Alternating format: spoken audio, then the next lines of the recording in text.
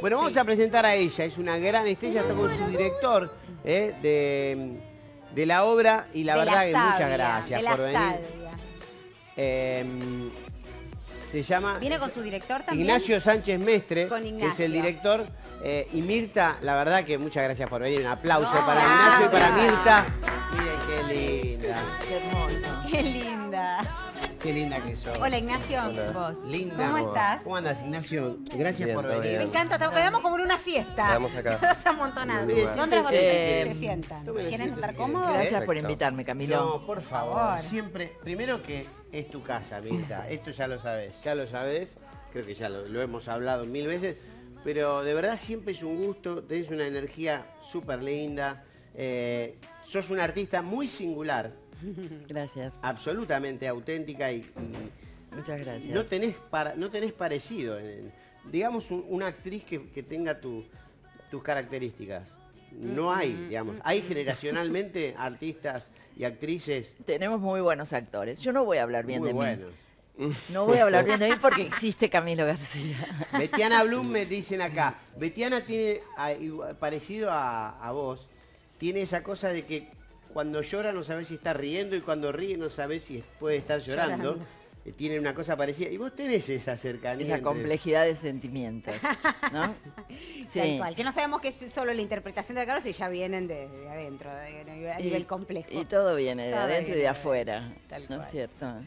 Este, bueno, pero estamos acá porque mm, él nos invitó, porque nosotros estamos haciendo una obra que se llama Excelente. La Sabia.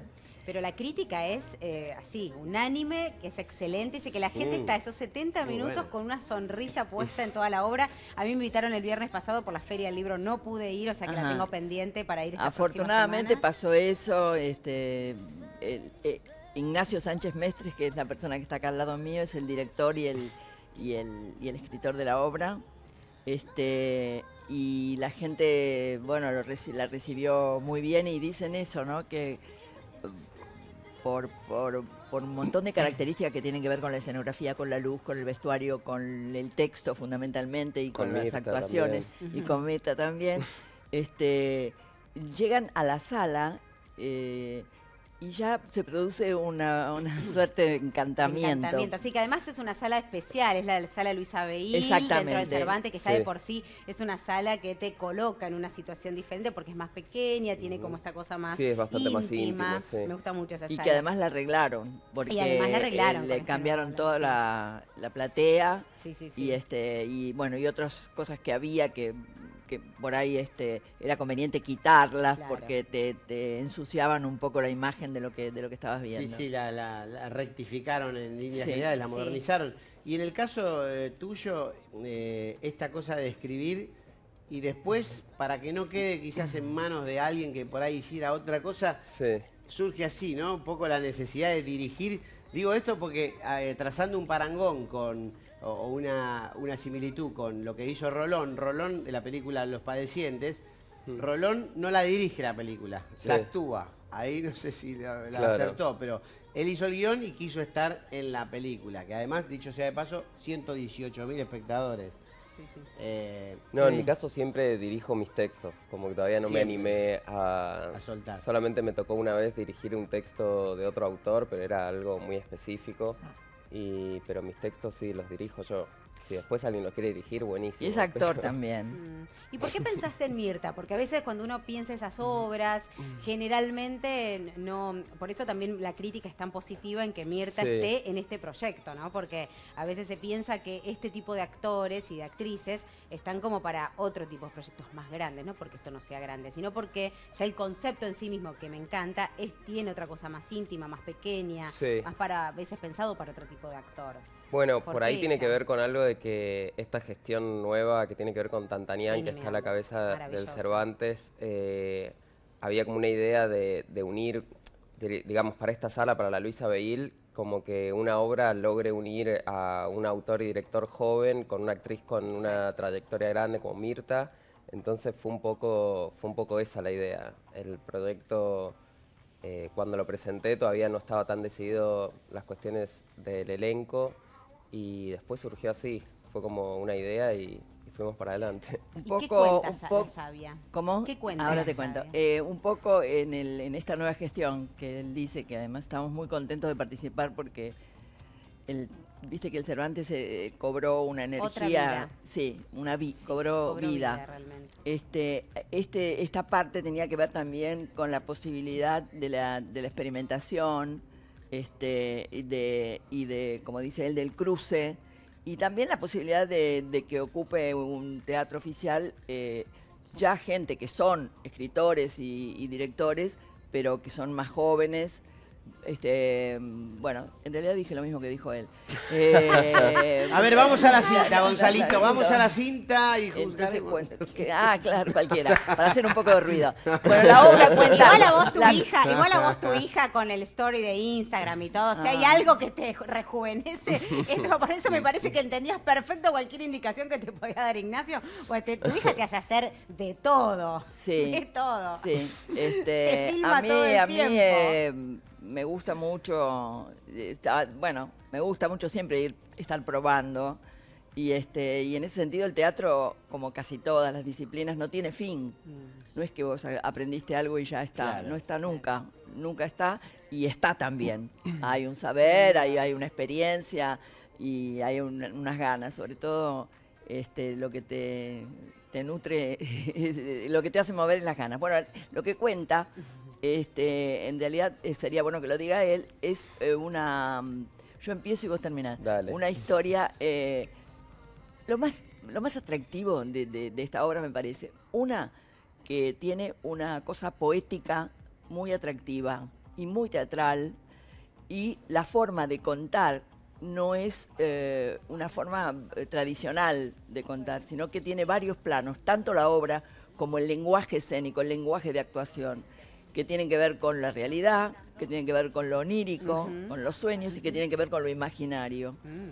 Entonces, este, bueno, hay una mujer de mi edad que Se llama Elsa, que está Muy un poco, que está sola y que para no olvidar eh, algunas cosas de las que vivió, sus recuerdos y cosas que tiene ganas de escribir, empieza a escribir.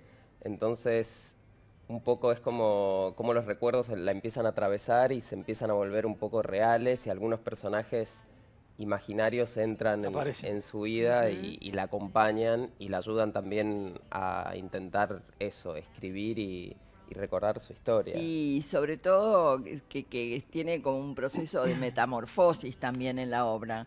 Ella está en una etapa de su vida donde, bueno, uno podría decir, hay una especie de... eh, Todavía uno es muy vital, pero también hay una despedida de determinadas cosas Claro. de Sí, la vida. también con Por el eso el título de la obra, porque es La sabia como sabia con B corta, B ¿no? La sabia de Sí. sabiduría, ¿no? Pero Como tiene como varios... eh, La sí. sabia de- Sí, el alimento, de, las alimento de las plantas, plantas. digamos. A ver, sí. hagamos un punto aquí porque tenemos que completar los títulos de las Sí, dos sí, y perfecto. media. ¿Querés leer los títulos? Sí, a ver cómo son.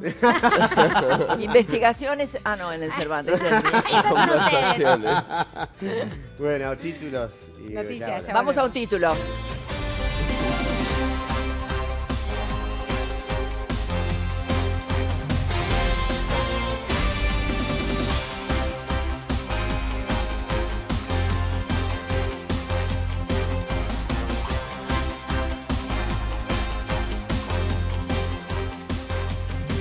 Aprueban el 2 por 1 en casos de lesa humanidad. La Corte Suprema votó, en su mayoría, extender la ley que reduce cómputo de prisión también para los presos por delitos ocurridos durante la última dictadura cívico-militar.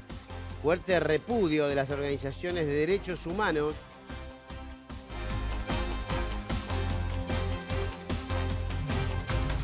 Caen las ventas minoristas un 4%, según un informe realizado por la CAME. El consumo no repunta y muestra una baja durante el mes de abril en comparación con el mismo mes, pero del 2016. Los sectores más perjudicados, joyería, relojería y marroquinería. El Estado no puede hacer todo, lo dijo el presidente Mauricio Macri al inaugurar el Metrobús en la ciudad de Santa Fe. Además, reconoció que los primeros 18 meses de gestión fueron duros, aunque auguró que habrá crecimiento en el país y remarcó los planes de infraestructura que tiene adelante su gobierno.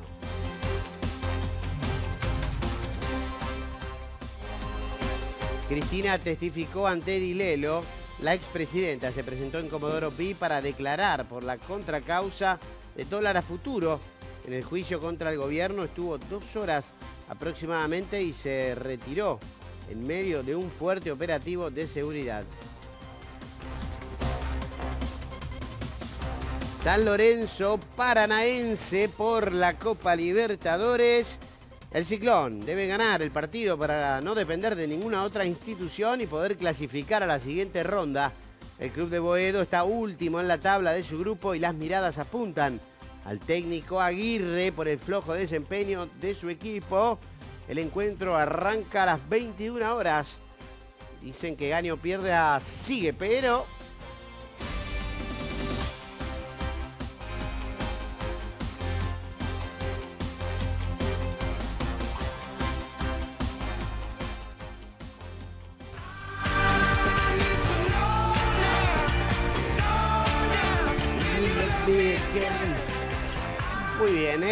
hacer en los títulos dejar un punto suspensivos. Dicen que Aguirre tiene los días contados, pero Perfecto. la gente que está del otro lado le dirá, ¿no? Pero, ¿qué va a pasar? Rellene la frase como quiera, ¿eh? piense lo que quiera al respecto. Bueno, eh, Una parte de un espectáculo puede ser eso. vas diciendo las frases hasta cierto momento. dirigir. Hasta Claro. determinado momento que te empiezan a matar, pero no importa. El, uno, eh, esta- esa, esa- esa- este, es, Por ejemplo, Suspenso, suspenso. Mirta, estuve pensando que podríamos vernos para... Claro, porque cuando nos veamos podemos eh, buscar tan, ¿viste? ¿Acordás lo que habíamos perdido? Bueno, cuando lleguen ellos lo vamos a hacer. Ay, linda. ¿El pasaje lo tenés? Sí, tiene el pasaje y va a viajar mucho, quizá ya, ah, me voy. ¡Qué genial! Y me das Es de- exacto, porque el otro día me crucé con tu hija en, la- en- en la- en la- en el estreno de una obra. Anita. Estaba Anita Pauls, chocha, saltaba así en una pata porque se iba de viaje. Sí. Me voy de viaje, me voy de viaje y al final y encima, encima me van a pagar porque estoy contenta porque encima el viaje que yo ya quería hacer, me contratan para hacer tal cosa. Digo, ¿de dónde salió tan viajera esa chica que disfruta La tanto? hormiguita viajera. Es una hormiguita Sí, viajera, sí. le encanta. Le gusta mucho, mucho viajar. ¿A vos también te gustaba viajar o te gusta A mí me viajar? gusta viajar, pero tengo algo más conservador. O sea, creo que en algunas cosas soy. No soy, no soy nada conservadora, soy lo opuesto. Pero en otras, este, me encanta la idea del viaje. Uy, sí, viaja. Uy, tal lado, uy, tal otro. Pero después me voy quedando. No, no. Bueno, no ejecuto tu tanto. todo lo contrario. Y- Porque sí. ella sí igual, justo Y además me gusta viajar acompañada. este, eh, eh, me encantaría poder viajar sola, ir de un lado para el otro, pero me agarra un poco de saudade. de Saudade. qué linda palabra. Saudade es Me una encanta, palabra- Saudade tipo C, me Claro, es- eh, pero una cosa que me, me llamó la atención del año pasado, creo a fin del año pasado, de, de Anita, Anita, gran, querida gran artista. Anita Pauls, eh, que estaba en pareja con, con Clemente, después se separó y después empezó a hacer como una serie de eh, videitos de Instagram, no digamos eróticos, audaces. Tuvo un par de apariciones así con sus amigas, sacándose fotos, haciendo toples. No sé si lo viste alguno de esos. Eh, ¿Qué pensás de todo eso? Parecía como muy 80 ríe, Ignacio. cuando era el destape. ¿Vos lo viste? Eso quiere decir que lo vio. además- Eso quiere decir que lo vio. Tiene un lomo, la pendeja, tiene un lomazo Sí. y baila muy bien y hace dab, ¿cómo se llama? Dab sham, dab, el Sí, cantás la canción. doblaje, sí. Eso. Dab- este, Pero era muy 80. No, si me, si me- O sea, yo preferiría no hablar de ella, pero eh, ya que estamos acá, eh, yo vi eso, que lo que decían de que estaba. Este, primero, ¿viste? No, no estoy en contra de, nin- de- de prohibir ninguna persona que esté desnuda. ¿no? Hay cosas tan, tan vergonzantes que un desnudo puede ser una cosa maravillosa. Hay alguna foto por ahí dando vuelta. Pero no estaba, primero que no estaba desnuda, ni se veía desnuda, ni nada. Semi-erótico, así.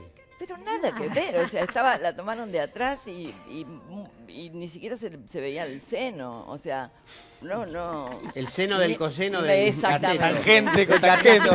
Imagínate, el coseno. Ahí está, mirá, a ver, tenemos una, a ver que se pueda mostrar a esta hora, ¿no? A ver, esta es una. Divina esa foto, me encanta. Había Es varias. provocativa. Esa no es estaba- ella. Esa, esa no es ella, esa es una amiga. Ella está donde está la parte No, sí, blanca. sí, esa es Anita. eh. Es ella, es No. ella. A ver, pará, pará con que me voy a fijar. calabazas, sí. Ah, con las calabazas. ella, Sí, es ella, no es se le ve ella. nada, son las calabazas de la casa. Ella, ella Claro. planta calabazas. Planta calabazas, claro. Sí, bueno, está sí, bien, es una buena promoción. Pues Yo ¿Vos, te qué, digo. vos qué decís? Que si yo en la sabia me pongo a hablar de, de Ana va a ser más atractivo. ¿no? No, No, no, ya no. la sabía, es en sí No, mismo Es un no. chiste. No, no me pareció para nada, para nada me pareció ni obsceno ni nada por el No, estilo. no, fue como picaresco, Este- gracioso, Ella es. así. transgresor, Claro. divertido. Sí, pero ella, eh, exactamente, es ella es como de divertida, se, se, Ella se anda ríe de y ella. feliz todo el día. Se ríe de ella y, este, y esas cosas. Pero los videos son mu- muy, buenos, porque Sí. ella eh, a- a- hace con todas las este, posibilidades que les da el Snapchat y el Y el Instagram, Instagram. eh, diferentes personajes y narra mi- mínimas Mini historias. Te incluye Sí. a vos en varias de ellas. Te No, hacen- porque llega y te quiere que yo participe. mamá hace tal cosa y supone la que me viene a visitar y yo no sé ni, ni de qué está hablando. Y ya te abrís la puerta y pero ya te no quiero que diga mi madre no me ayudaba. Entonces, este, Me seguí la corriente un poco. y le sigo la corriente. Madre, no Espero que no me lleve al precipicio. No, este, sí. es A una- ver, hay otra, mira. Se tira el agua, chicos. Está en topless, ahí está. Hace. Es muy divertido. Estos son los que quedan fijos, porque después están los que sube a las, a las histories Claro, o a los moments. que son no muy. Sí, al- Los que al- se borran. Es muy divertida, la verdad que tiene una inquietud. ¿Vos Sí. usa- eh, usarías nuevas tecnologías en tus obras? ¿La Sabia tiene algo de tecnologías este, nuevas? ¿Cómo, cómo te No, llevas con la, la- tecnología y tu no. juventud en la dirección? Yo me llevo bastante bien, pero la uso para, a ver, mando devoluciones por audios de WhatsApp.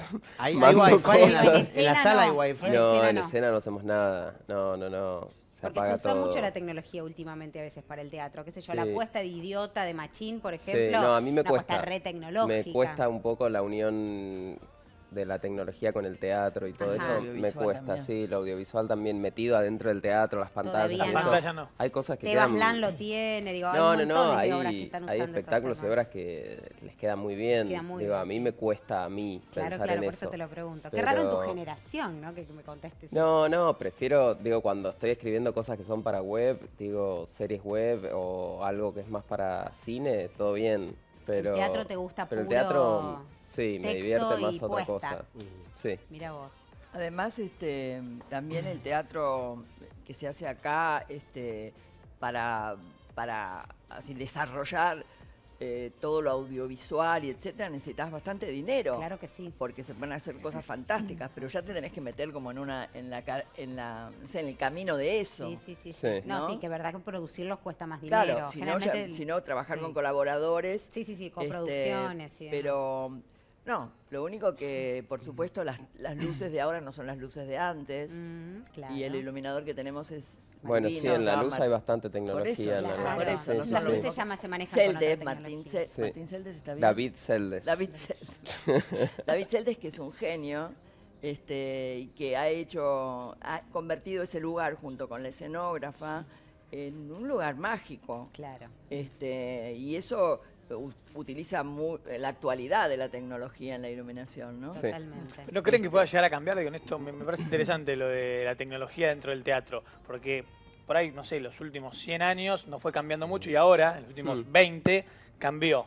¿Creen que puede llegar a variar totalmente o que va a quedar y la gente va a seguir teniendo esa, digamos, la identidad del teatro va a seguir estando desde el punto de vista del director? Digo, ustedes son los que deciden en Está definitiva y los actores Mm. cómo va a ir mutando o no el teatro. Yo creo que... Como el libro y el ebook. Sí. Yo creo cual. que hace mucho tiempo que se utiliza lo audiovisual Sí, sí, sí. y en, Sí. en otras partes del mundo más. Este, y formas de, de- de teatro, de performance, de instalaciones, de bueno, hay infinidad de maneras de mostrar algo Claro. que se hace. A lo que voy es, viste que hay, hay teorías que dicen, por ejemplo, que la radio va a desaparecer en 50 años. que la música, de hecho, ya uno tiene Spotify y elige qué música escuchar, cuando hace 20 años esperaba la canción que él quería Sí, sí, por ahí o, tres por horas. ejemplo, O la que con la robótica no vamos a trabajar nunca Claro. más. En una, en una época se hablaba de la, edad- de la época industrial Mm. como la posibilidad de que el hombre tuviera más días de ocio y pudiera disfrutar, pero eso no fue así. Claro, sin laburo. Se quedaron sin laburo y Claro. nadie lo... lo- bueno, Expulsado. No, yo creo que van a surgir miles de formas distintas de, de hacer, nada, formas de teatro o de espectáculos, pero el teatro va a seguir existiendo. No va a desaparecer bajo ningún punto de vista. No, creo que no. No, no, no, yo no siento eso. Ojalá que no, eh, pero digo, por No, ahí, no, no, ojalá sí, que no, no, pero... No, porque, digamos, eh, hay algo que es eh, la presencia del otro eh, en- al mismo tiempo, Sí. lo vivo.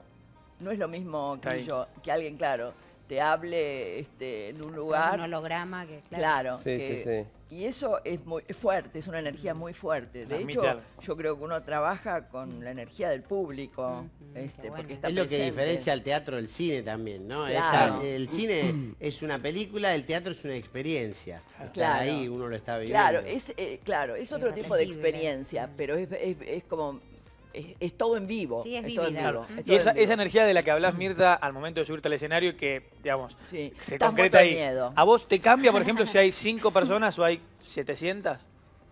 Eh, por supuesto que te pones más contento cuando viene más gente.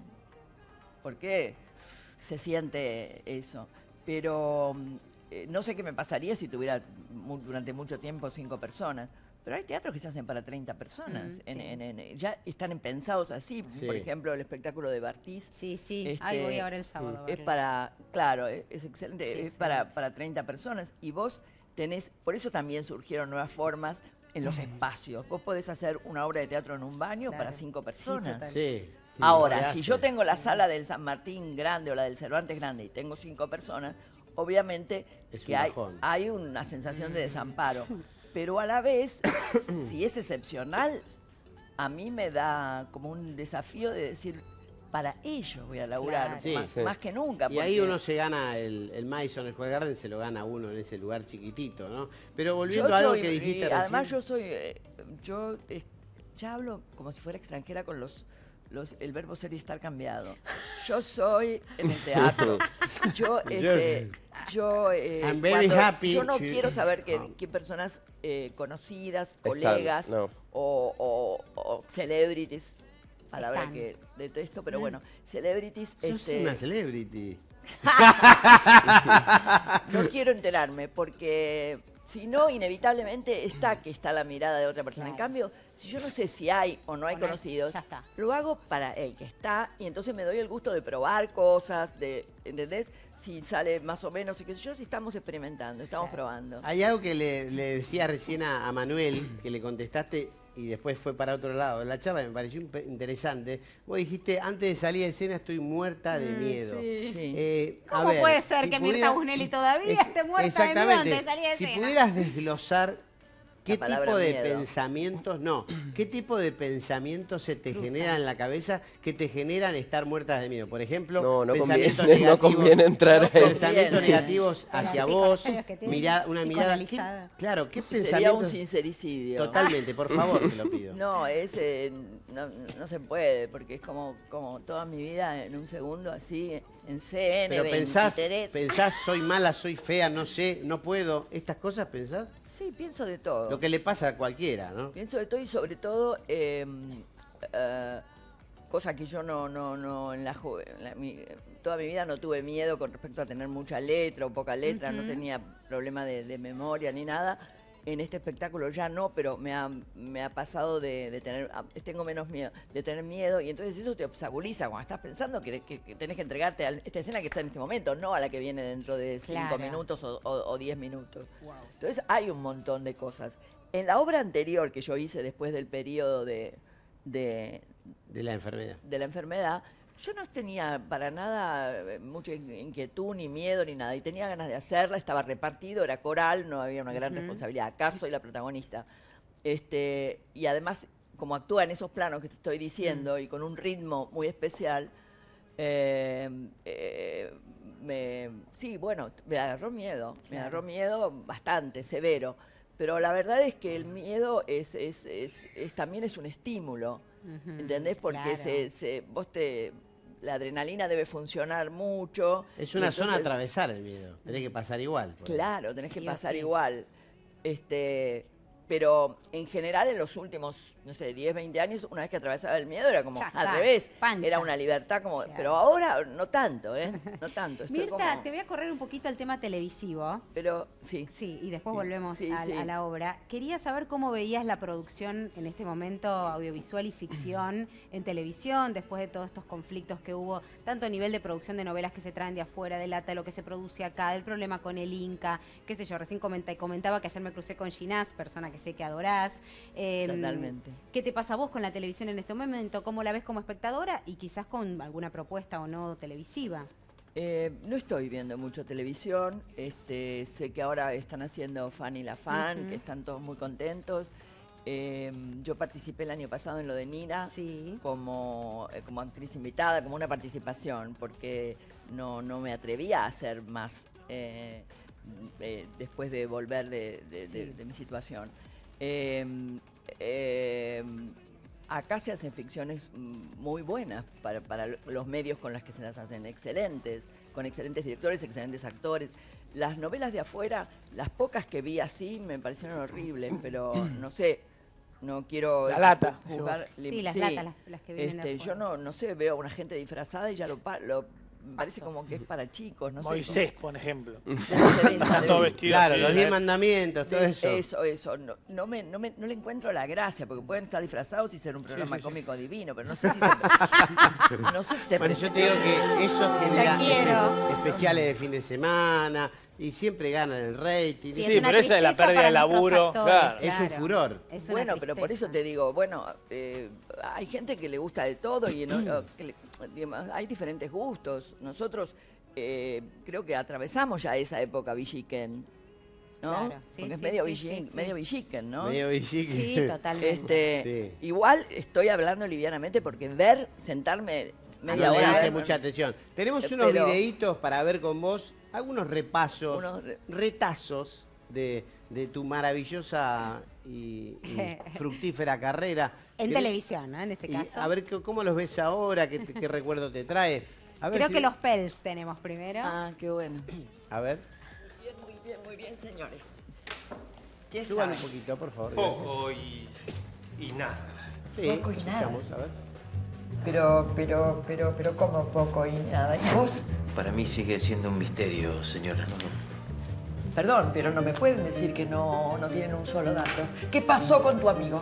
Lo llamé, pero no, no me va a poder ayudar. Se cambió de canal. ¿Se cambió de canal? Se cambió de canal. Bueno, entonces yo personalmente me voy a tener que ocupar y averiguar qué le ofrecieron a Pels para que se quede.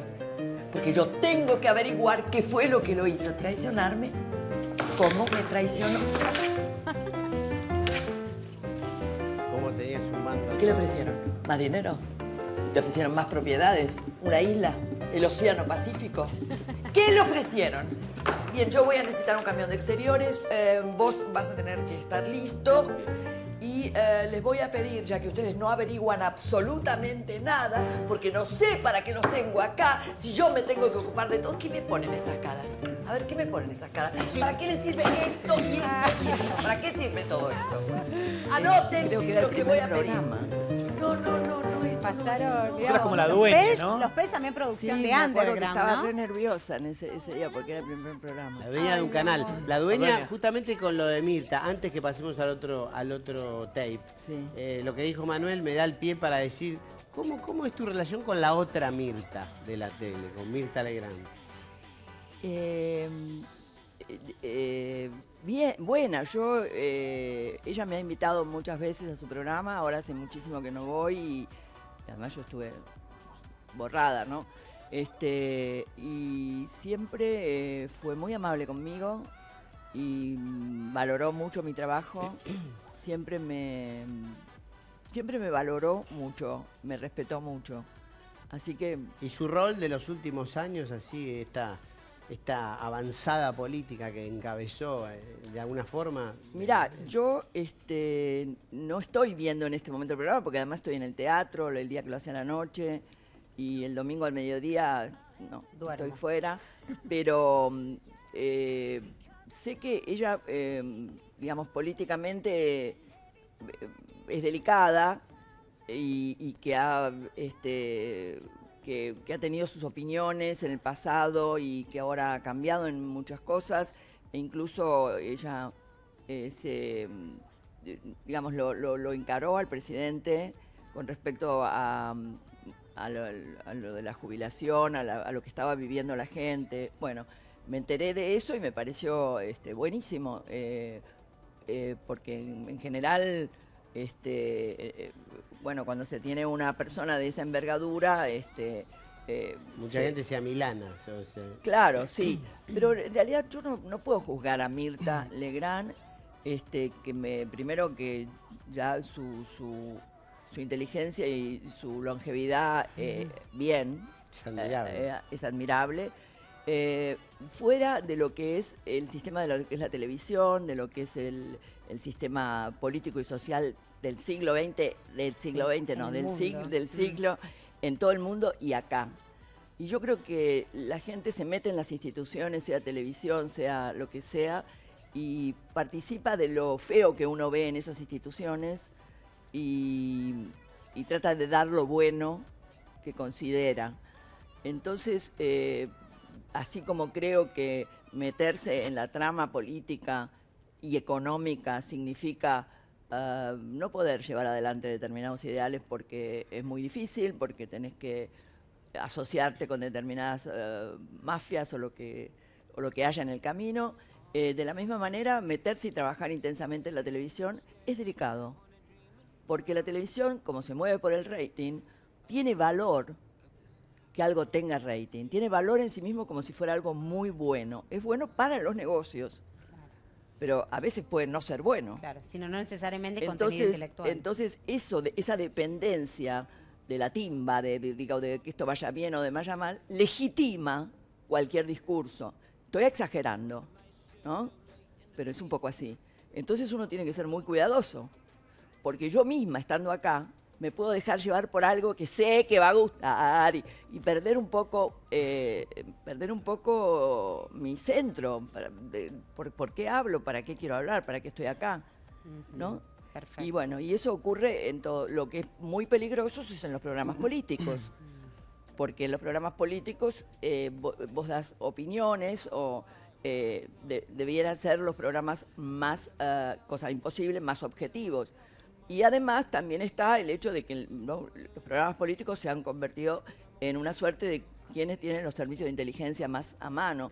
Que los servicios de inteligencia tendrían que ayudar al, al Estado, se supone, pero eh, tienen su, su- su- su venta de información a, a- a, no sé, al mejor postor.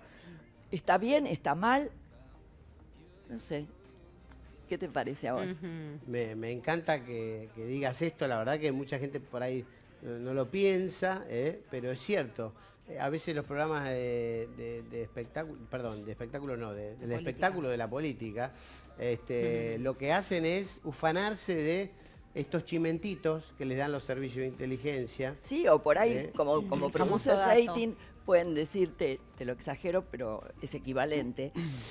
Hoy tenemos unas noticias, se, se murieron cuatro chicos, increíble, los aplastó un tren y no se imaginan. Lo- Ahora ya se los voy a mostrar, ya se los voy a mostrar. Claro, sí, sí, la O sea, espectacularidad de la eh, noticia. No, no, el- la satisfacción por una noticia que no tiene nadie, aunque la noticia sea detestada, terrible, claro. terrible. Pero bueno, este, ¿Tenés frío? no, no, no, el tema me da un poco de frío. Ahí Mi está. amor. Este, me gusta, el- eh, hablando de programas políticos, me gusta el programa de Loto Biasda, me parece un programa Sí. este, muy, muy que, que- que respeto, digamos. Él, es, Este, él es muy ¿eh? respetable. Él es muy respetable. Sí, y que este y que no que no, no, no hace circo tampoco, es como mm, informativo, lleva distintas voces. eh, es el programa, digamos, que de los Más que, yo, para vos. de los que yo veo, sí, que me, me parece mejor. ¿Tienes alguna posición tomada con lo que ocurrió en el Inca? Mirá, eh, eh, aparentemente es muy alarmante eh, costó mucho tener la ley de cine, eh, los, lo- lo- lo- los aportes para el fomento, etcétera, eh, de los grandes medios. Y si eso está en cuestión, es grave, es muy grave. El cine argentino es un cine respetado en todas partes del mundo. La cultura, las artes y las ciencias merecen el apoyo y, la protección y estar también un poco, como hablábamos de la televisión, al margen de lo que sea eh, la devolución directa de una transacción económica Totalmente. este, eh, porque los beneficios son para, lo, para qué vive uno, sino para amar, para tener buena salud, para hacer creaciones, para, para descubrir qué potencialidades tiene, si tiene cosas que nunca imaginaba que podía hacer. Digamos, este, si bien el, el- el- el- el dinero y, y todo eso mueve muchas cosas, donde se pueden realizar esas, en realidad debería ser un medio, ¿no es cierto? Dejar algo, ¿no? eh, un medio. Y entonces, este, eh, eh, la protección del cine nacional, que costó mucho, que tenemos leyes que nos envidian Total. en otros países, este, es, no debería ser negociable. Y con respecto a las personas cuestionadas, este, mi, mi conocimiento es el de Pablo Robito, que considero que es una persona honorable y que ha llevado la ENERC eh, maravillosamente bien. Este, y, y de y de lo de cassette, eh, caseta. Caseta. Este, no lo conozco, pero todo el mundo habla muy bien. Así que bueno, yo creo que eh, nada, que tenemos que estar atentos a ver qué es lo que sucede en adelante, ¿no? Bien, perfecto. Así que estoy apoyo al Inca. Bien, muy bien. Eh, tenemos otro video Sí. tuyo de un momento que fue en su momento, valga la redundancia, muy transgresor. eh, aquella eh, miniserie de Caetano, si no me Sí. equivoco, Sí. eh, Disputas, un juego de palabras eh, interesante. muy interesante. Eh, a ver si lo, Sí, sí, lo sí. queremos ver. A ver. Chicas, yo necesito hablar con ustedes. Acá pasó una cosa muy grave hoy. Yo no estaba, ¿eh? Sí, ya lo sé, y yo te agradezco que hayas venido, Maja. Pero acá ha pasado una cosa muy grave. Yo hablé con ustedes la semana pasada y he dicho, por favor, que los problemas personales hay que dejarlos afuera. No me mires así, Gloria, porque lo sabemos perfectamente, fue bastante grave. Hay cientos de chicas que quieren entrar acá a trabajar. No digo que todo el mundo, para esto se nace y se hace también, y o se nace, pero no, no. Yo decidí quedarme con cuatro de ustedes para que tuvieran más dinero y para que hubiera más clientes que pudieran estar con ustedes. Así que, chicas, por favor, los problemas outside, porque si no, esto se convierte en un quilombo. ¿Está claro? Ahí llegan los clientes, yo les pido, por favor, yo la voy a tener a prueba. Y se me ponen... Porque si no, Se convierte en un...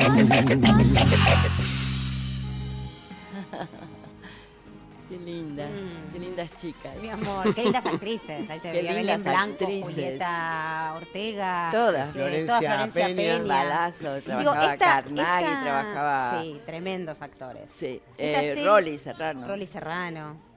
¿Esta serie podría ser posible hoy también? Digo, con todo el tema ya mucho más avanzado de trata de, de mujeres. Y, Y bueno, tendría que. eh, eh, sí, tendría que ver cómo- de qué manera, Mm, porque. Sería muy, eh, eh, muy vigente, Es ¿no? otro, es otro el enfoque. Es otro Hagamos enfoque. un puntito aquí porque tenemos que... eh, no- no- tenemos noticias. Mirta, por Bueno, eh, hacemos una pausa, eh, porque siempre viene bien, y las noticias, los informamos.